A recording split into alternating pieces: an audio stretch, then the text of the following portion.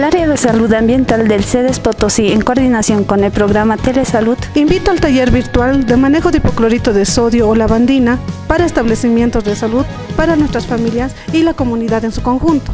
Te esperamos este martes 28 de abril a horas 11 de la mañana a través de la plataforma virtual de salud. Juntos contra el coronavirus. Quédate en casa.